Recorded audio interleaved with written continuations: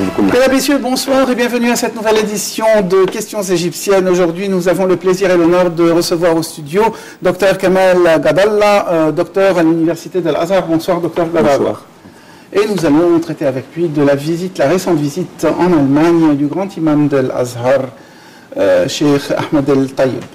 Euh, et, mais auparavant, et comme nous avons l'habitude de le faire, je vous propose une petite minute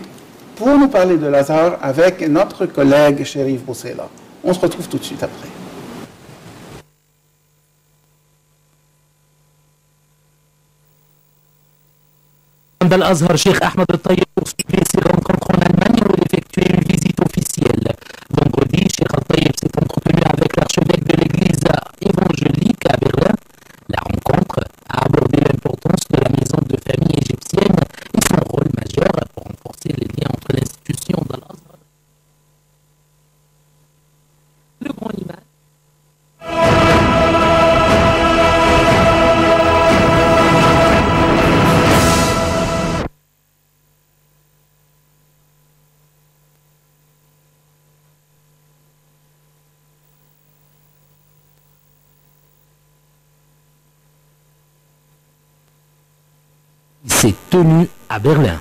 Lors de son allocution, Cheikh Al-Tayyib a affirmé que l'islam et la paix sont étroitement liés alors que le prophète Mohammed, paix et bénédiction sur lui, portait un message du merci et de tolérance au monde entier. Le grand imam a ajouté que la philosophie du Coran rejetait la violence entre les musulmans ou les non-musulmans. Cheikh Al-Tayyib a également indiqué qu'une partie de la mission d'Al-Azhar est de propager la paix entre les nations ainsi que de combattre le terrorisme à travers le dialogue.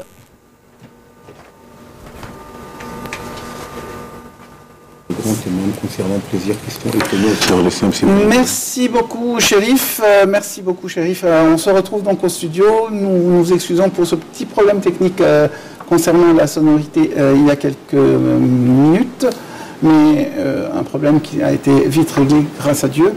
et on se retrouve donc au studio avec Dr Kamal Gadalla.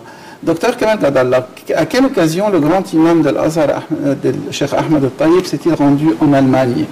A-t-il été invité pour une raison quelconque ou c'est lui de lui-même qui a pris, pris l'initiative? Bon, donc, euh, je crois que la visite de M. le Grand Imam euh, en Europe, c'est pas seulement en Allemagne, c'est un peu retardé parce que euh, ça fait aussi un bon moment qu'on souffre de beaucoup de problèmes concernant soit l'islam en général, comme par exemple l'apparition de Daesh sur la scène, ainsi que les autres questions de, de conflits internes dans les pays musulmans, et aussi l'image des minorités et la situation des minorités musulmanes en Europe, malheureusement, par exemple, jusqu'à présent en Allemagne, il y a à peu près, comme vous venez de le dire, de la fermer, à peu près 5 millions de musulmans là-bas, mais jusqu'à présent, ils ne sont pas déclarés au stade confessionnel, c'est-à-dire qu'on n'a pas encore, en fait, ni une sorte de, de, ou bien de, d'officialisation de l'islam en tant que deuxième religion après euh, après le, protestantisme, parce que euh, l'Allemagne est une majorité protestante, il y a aussi des catholiques là-bas. Euh, mais le musulman. C'est le christianisme ah oui, le christianisme en général. Oui, la chrétienté, tout, simplement, parce qu'en fait, en Europe, vous connaissez qu'on fait une distinction entre le catholicisme et le protestantisme. C'est-à-dire, mais dans ce cas, on devrait dire les sunnites et les chiites aussi. Ah oui, oui, donc oui, ça existe. Donc, donc c'était très très important, en fait, le, le, calendrier qu'il entend à visiter plusieurs pays européens. Et j'espère, en fait, j'espère de tout mon cœur que la prochaine visite soit en France, parce qu'il y a la grande minorité musulmane dans toute l'Europe qui, qui, presque entre 9, 000 et 10 9 millions et 10 millions euh, musulmans là-bas. Donc, euh, c'est très très important, en fait, le temps de la visite, le temps réel, comme on dit juridiquement, mais c'est un peu retardé quand même. Les statistiques là, euh, divergent un petit peu. Euh, il y en a qui vont juste. Mais quand même, ce n'est pas, en tout cas, c'est pas une question de. Oui, mais ce n'est pas, une question de, de, de, de, chiffres. Et je vous dis pourquoi. Parce que une bonne partie des musulmans sont pratiquants et sont très influents dans leur société. Donc, ce oui, pas en France, il y a, je crois, un tiers de pratiquants, un tiers assez même excessif, oui, peut-être, oui, oui, et un tiers qui s'en fiche un petit peu. Oui. c'est réparti entre trois tiers. Bien, le choix de Munster, où s'est tenue une réconciliation interchrétienne entre catholiques et protestants, justement, révèle-t-il une symbolique sunnito-chiite ou plutôt une symbolique islamo-chrétienne? Les deux, je crois, parce qu'en fait, euh, pour le dialogue euh, islamo-chrétien, donc euh, vous connaissez très bien que ça fait cinq ans qu'il est gilé, en fait, à partir de, à partir du temps de Benoît XVI, mais maintenant on veut relancer de nouveau, en fait, si vous voulez, ce dialogue islamo-chrétien pour la paix mondiale.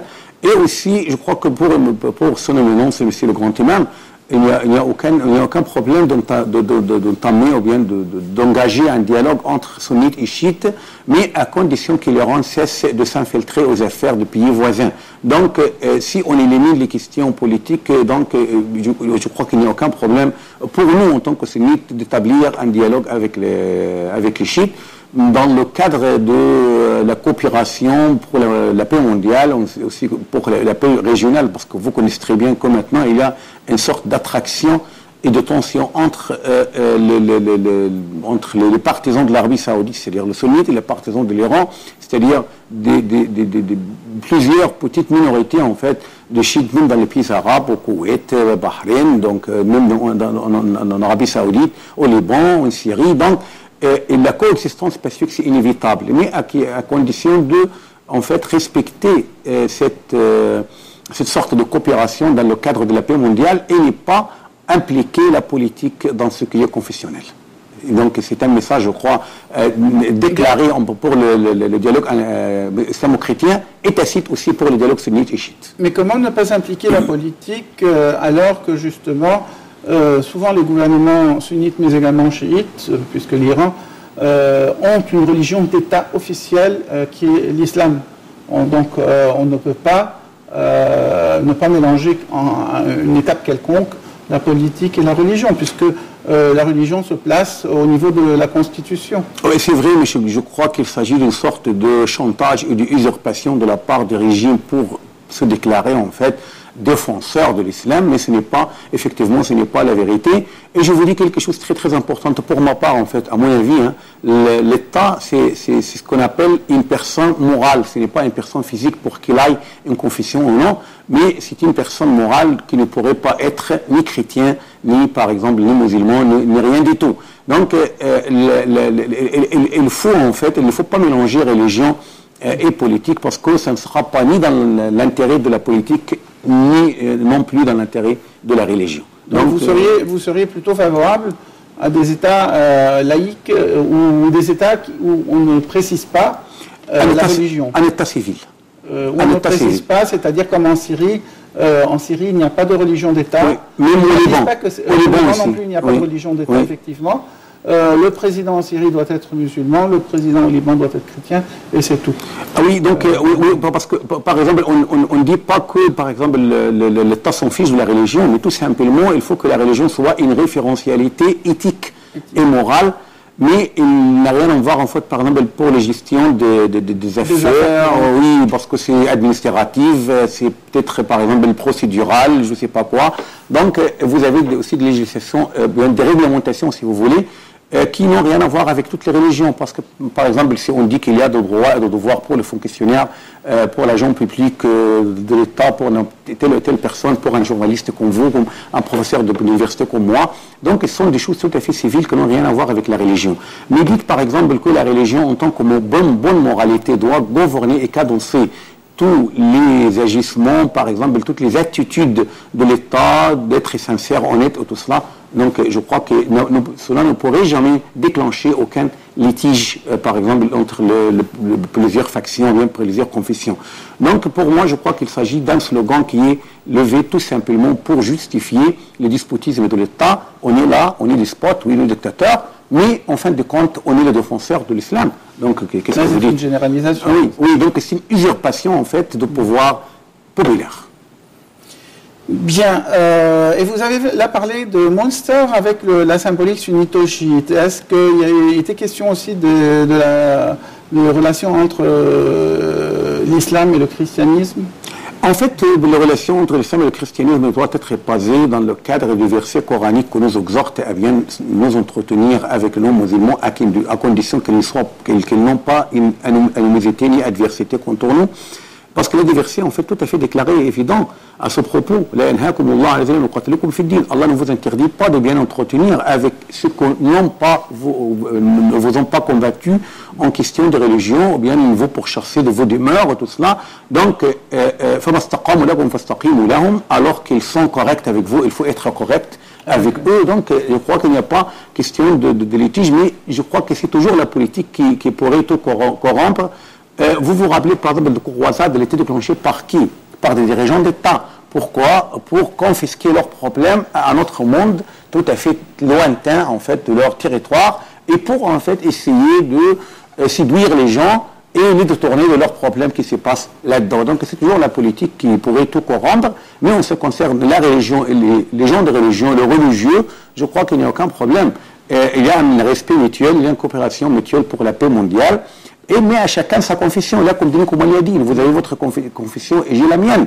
Donc, dans le cadre de cette coopération, de cette, de cette mutuelle compréhension, euh, on pourrait tout, tout résoudre, il n'y a aucun problème. Mais tout simplement, il y a des gens qui ont des intérêts à faire ce schisme, par exemple, entre musulmans et chrétiens, entre sunnites et chiites, entre, par exemple, protestants et catholiques et, et orthodoxes et tout cela. Mais, en fin de compte, chacun adore, adore qui? Chacun adore son Seigneur, Allah. Donc, c'est à sa manière, même si la conception de la divinité n'est pas identique, mais en fin de compte. Elle est presque identique. Elle est presque identique. Mais il y, a, s'il y a un petit différent, en fin de compte, on est tous contre l'athéisme, contre, par exemple, la négation de l'existence de Dieu.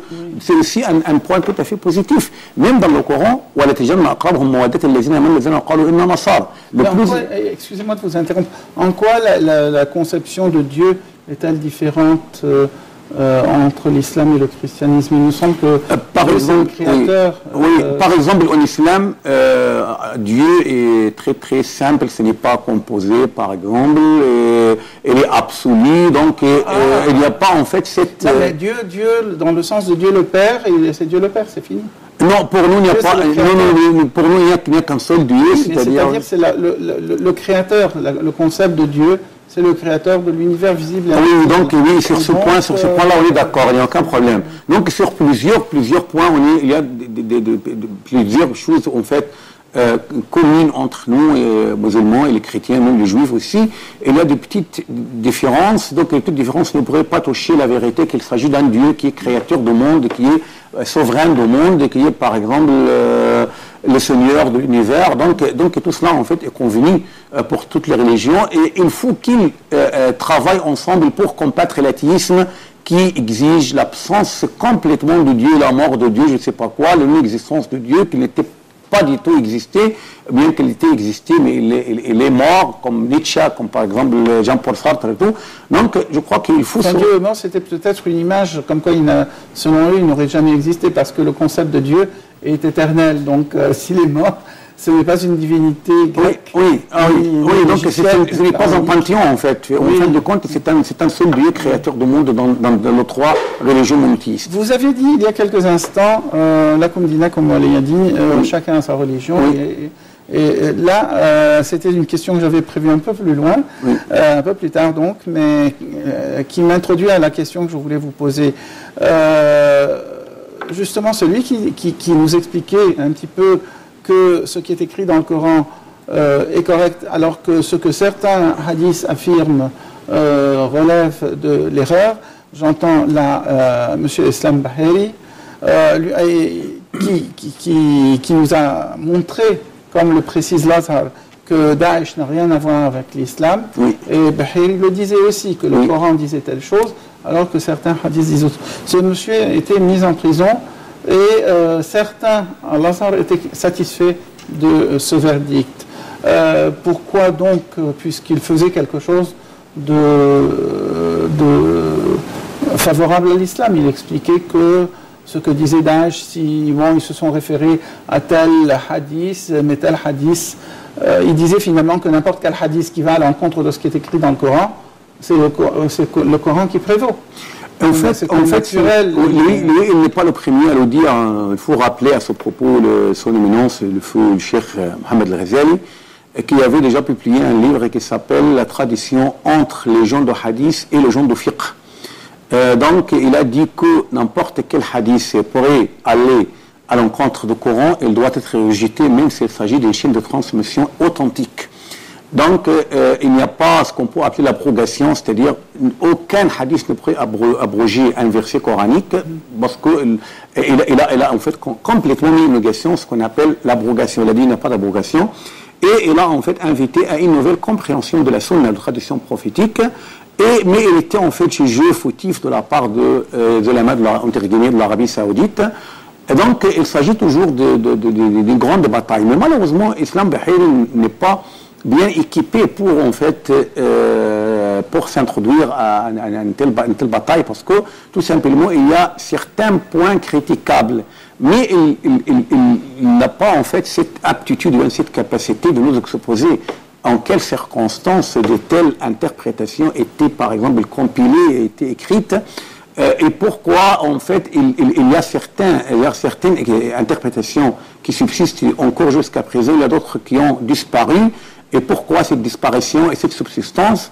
Donc, il y a plusieurs facteurs, par exemple, comme les fondements de fiqh, comme par exemple les sciences normes de hadith. Donc, il y a tout un bagage, en fait, euh, scientifique. Il faut euh, qu'on soit très bien équipé pour qu'on puisse parler, parce qu'en fait, ça ne suffit pas, par exemple, de signer la discorde en disant un tel hadith est mal euh, été manipulé du point de vue vie interprétatif. C'est-à-dire, Donc, interpré- on n'a pas, je, on- on- je ne sais pas, euh, je ne suis pas bien sûr spécialiste dans la matière, mais euh, si le Coran vous dit que vous avez droit de choisir votre religion, vous venez de dire Oui. la, la, la, conduite, comme elle a dit, oui. etc., Oui. et que n'importe qui dise non, Oui. c'est pas comme ça. Bah, euh, entre le Coran et le n'importe qui, c'est le Coran qui gagne. oui, c'est le Coran qui gagne, parce, parce que, par exemple, il y C'est a... un petit peu ce qu'il a dit. Oui, oui, oui, je connais très bien. Par exemple, je crois que, vous faites allusion à ce hadith que dit même Badla Dinahu Faqtulu, c'est-à-dire qu'il change sa confession, il faut qu'il soit mis à mort.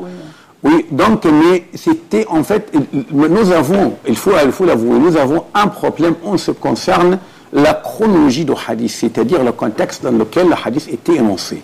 Le Coran, en tant que, par exemple, le recueil qui était euh, assemblé euh, euh, et mis en recueil, euh, très tôt même au vivant de prophète, donc il y a, le contexte, il est toujours en, continuité. Mais il y a une, petite discontinuité en fait dans le hadith, parce que je crois fermement que la, le circonstance, la, circonstance de l'énonciation de ce hadith, c'était en pleine guerre entre le prophète et le polythéiste. À, à- à cette époque-là, celui qui euh, euh, renonçait à sa confession, c'était quelqu'un qui avait toujours tendance à se rallier aux ennemis. C'est-à-dire, ce n'était pas une- un simple changement de confession, mais une déclaration d'animosité contre les musulmans, une sorte d'espionnage, une sorte, par exemple, d'ébranler la sécurité des musulmans. Donc, c'était quelqu'un qui était guerrier belliciste.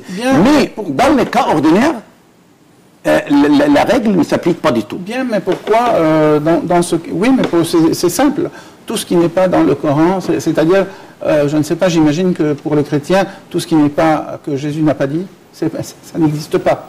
C'est tout. Non, ça existe. Pourquoi dans le... non, ça existe. Ça pourquoi- existe. Vous avez, c'est-à-dire- vous avez plusieurs commentaires en fait de pape, de l'Église et tout cela. Oui, mais si ne faut pas oublier en si- fait si ce le pape slogan. dit quelque Oui, chose oui. et que dans l'évangile il était écrit autre chose, ben, entre le pape et l'évangile, les gens vont prendre l'évangile. Oui, oui, je connais très bien, mais il ne va pas dire que cela euh, euh, va à l'encontre de l'évangile, mais il va dire que c'est une explication, par exemple, d'un, euh, euh, de, de- de- de- de- peut-être d'un chapitre de l'évangile. Donc, c'est ça, c'est son interprétation. Il ne faut pas Faut-il- oublier. En tout cas, faut-il que les gens le croient à ce moment. Ah oui, oui, Parce que, oui, c'est parce que tu ne tueras point, tu ne tueras point. À la limite, encore, on peut comprendre en cas d'attaque. Si on est attaqué, qu'on risque de mourir, bon, bah, il faut bien se défendre. Mais euh, mais il n'y a pas d'autre raison. Ah oui, oui, je connais très bien en fait, mais il, il- il- faut, connaître qu'il y a, il faut faire la distinction entre deux choses. Une sentence permanente qui ne change pas du tout, comme par exemple comment faire la prière, le jeûne de mois de Ramadan, par exemple. Il y a aussi par exemple des règles pour les jihad. Il faut respecter les âmes des de, de, de- de civils et tout cela. Et il y a aussi des bas sentences, mais en fait d'avis religieux qui étaient plutôt circonstanciels. C'est-à-dire, à la lumière de ce que se passe d'animosité et de guerre entre le prophète les musulmans d'une part, et les polythéistes d'autre part, et chacun en fait a l'intention d'écraser l'autre. Donc c'était une guerre, une guerre tout à fait acharnée, guerre de résistance entre les Mécois et les Médinois. Donc il ne faut pas le, le, le, le mettre en négation. Donc il y avait en fait des circonstances tirées de hadiths et d'informations euh, traditionnelles de prophètes qui étaient circonstancielles. C'est-à-dire qu'il était, il y, a, une sorte de lien de causalité, comme, comme vous pourriez le dire, euh, euh, si la chose existe, si la condition est remplie, donc mission accomplie. Sinon, donc, euh, ce n'est pas du tout à, appliquer cette règle-là parce que cette règle c'est circonstanciel, ce n'est pas une règle pour toujours. Donc il y a des choses qui ne sont pas pour toujours. Les généraliser jusqu'à présent, comme le fondage par exemple, et dire que le dernier verset était le verset de l'épée, c'est-à-dire qu'il faut combattre les non-musulmans et tout cela, tout ça en fait tout à fait erroné. Dans cette erreur, fait tomber cette côte, voilà, le Maudoudi et les autres, et c'est un héritage euh, tout à fait accumulé, mais je crois qu'il faut, qu'il faut accorder euh, une attention particulière aux gens versés en religion, il faut les inciter, les stimuler à nous mettre les points sur les i dans cette question épineuses et connaître les autres choses, c'est-à-dire les avis religieux qui, étaient circonstanciels de l'époque, il faut en fait les mettre parmi les grandes références, c'est patrimonial mais ce n'est pas à, mettre à jour euh, aujourd'hui. Donc il faut, il faut faire la distinction entre ce qui est purement académique et ce qui peut être euh, réglé et mis en œuvre euh, sur la scène de la réalité. Bien.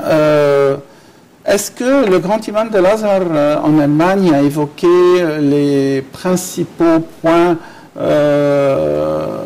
Bon, déjà les revendications musulmanes? Oui. Est-ce qu'il en a, il a présenté des revendications musulmanes? Vous avez fait état d'une de ces revendications que euh, la religion musulmane soit, pas reconnue d'une manière euh, officielle.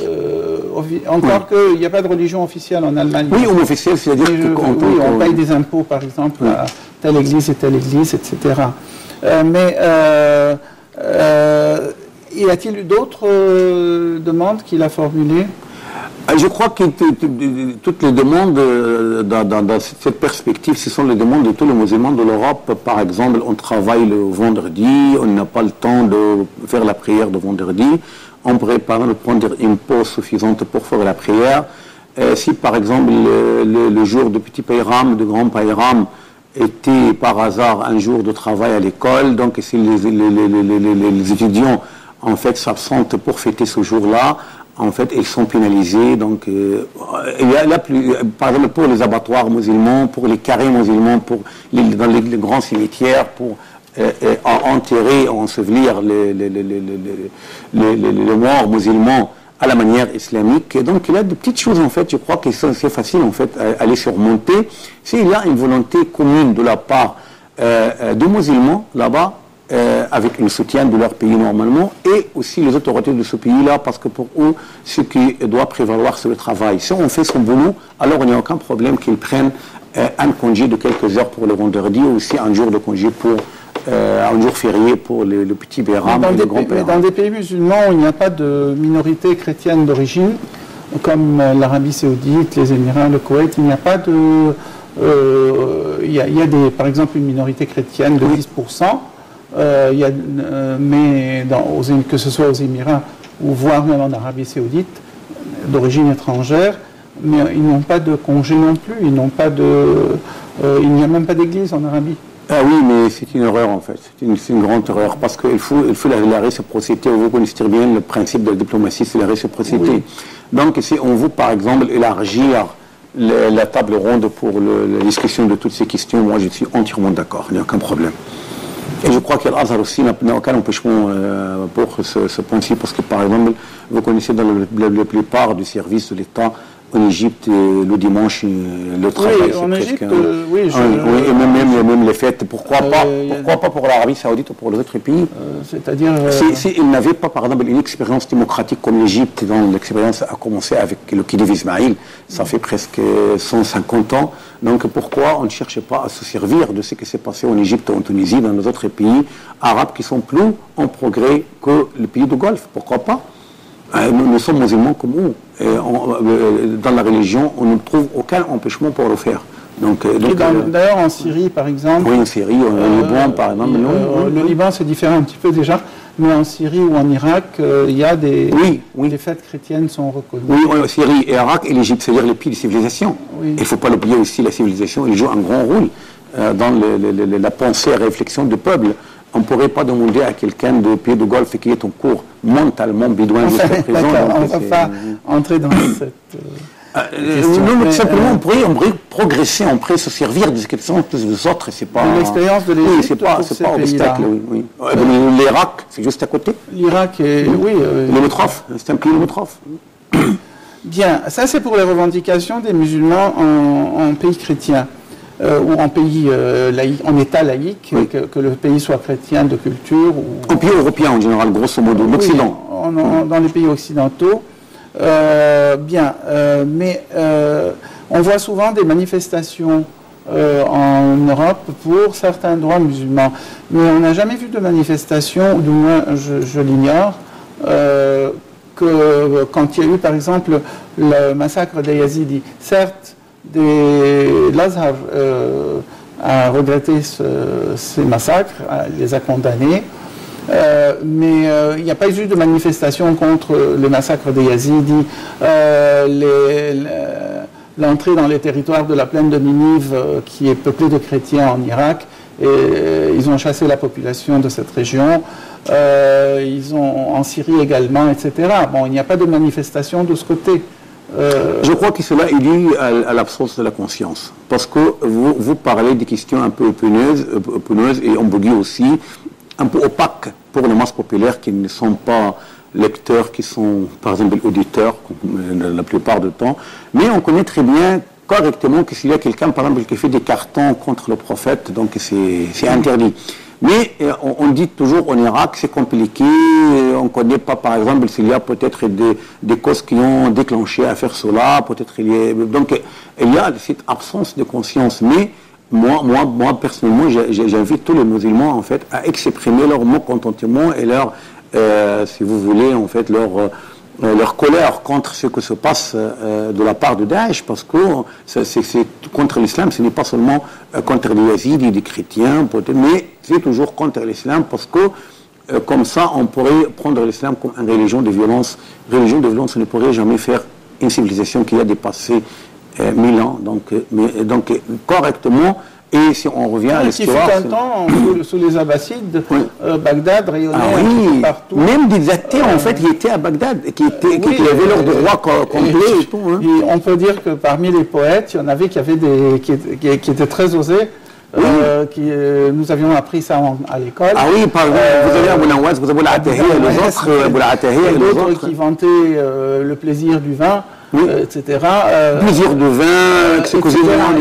tout, tout, tout cela. Même de l'atisme, même de l'atisme en fait. aussi. Ah oui, oui, il déclarait l'aratisme. Par exemple, vous avez Abou al-Ma'ari qui, qui a un, un, un, un vers de, un vers de- un vers très très célèbre euh, dans lequel il a, il a affirmé la dualité euh, euh, euh, di- divine. C'est-à-dire il y a un Dieu pour le bien, un autre pour le mal. Donc c'est, c'est, c'est- oui, et c'est connu, vous pouvez revenir par exemple au livre, euh, l'œuvre monumentale d'Ahmed Amin, Fajr al-Islam, Ruh al-Islam, Zuhr al-Islam. Donc euh, il a, il a, il a, il a, il a traité la vie euh, mentale et intellectuelle des Arabes au temps de l'islam et avant, avant l'islam, euh, au début de l'islam et dans, dans l'épanouissement de l'islam. Malgré de telles euh, tendances, l'islam il était gardé sain et sauf Oui. parce que euh, c'est une religion tout à fait raisonnable et logique. Donc, euh, ce qui ne sera pas du tout ébranlé par le- un, poème de la part d'un poète, je ne sais pas, un carton de la part d'un dessinateur. Donc, c'est, elle est plus forte que cela. Mais euh, donc, c'est l'absence de la conscience. On n'est pas en fait, très très conscient des valeurs de notre religion, comme la tolérance, par exemple, comme essayer de- comme l'altérité, il faut respecter l'altérité, euh, comme par exemple la compréhension mutuelle. Ce sont des valeurs qui, malheureusement, en absence de la conscience musulmane, ma- ma- malheureusement. Donc, pour revivre tout cela, il faut revivre la conscience collective. Faire revivre la conscience collective, mesdames, messieurs, c'est avec euh, ces quelques mots que nous parvenons au thème de cette édition de ce soir. Nous avions le plaisir et l'honneur de recevoir au studio aujourd'hui Dr Kamel Gadalla, professeur à l'Université de l'Azhar. Merci beaucoup, euh, Dr euh, Gadalla, de votre participation, de votre éclairage un petit peu et d'avoir confirmé effectivement qu'à un moment, de l'histoire de l'islam et la plus glorieuse, Bagdad la magnifique, Haroun On était très, très ouvert. Très ouvert et on avait de tout dans ce monde musulman. merci également à vous, mesdames, messieurs. Merci à toute l'équipe de ce soir. Rendez-vous à samedi prochain pour une nouvelle édition de ce même programme. Bon week-end.